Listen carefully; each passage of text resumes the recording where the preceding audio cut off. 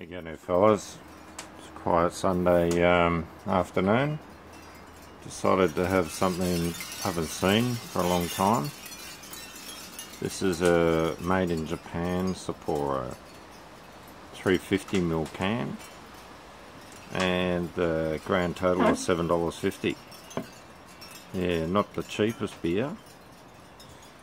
I'm telling you, but um, I haven't seen this can in Australia ever. I remember drinking this in Japan out of those uh, machines they have everywhere. Put a few coins in or whatever, you get a couple of beers out. It's great. Them in nearly every street. Everywhere. Was grouse.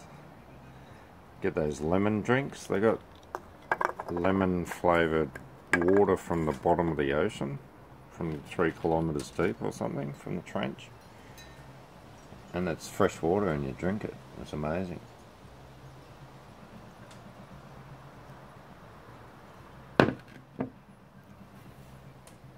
Wow.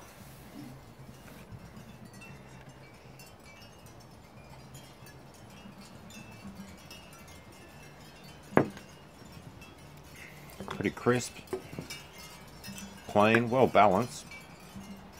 It's got that Sapporo sort of flavour I haven't had for a long time. Like 10 years. Yeah, usually the Sapporo I've, I've bought here is made in Canada.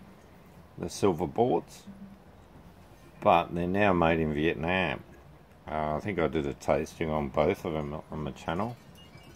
The Canada one, Canadian one's not too bad. Uh, not a real keen one on the Vietnamese one. It doesn't quite quite taste the same as the Japanese one. This one's a bit more radioactive. Grouse.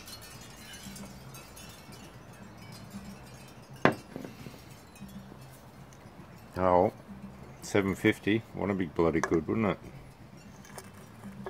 Anyway, now you realise how bloody expensive things are in Japan, the poor buggers. Very expensive over there.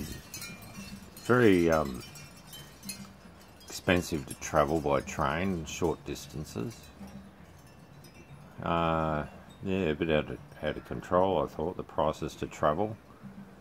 But anyway, it is what it is. Food was expensive. Way back then, like lunch was $17. It was like the cheapest lunch you could get. Yeah. Alright, enjoy the Sapporos. You go to Japan, you'll be drinking those. But you won't see them in Australia. And get the six packs, the bottles in, um, I think I've seen them in Dan Murphy's, but I don't think they're made in Japan.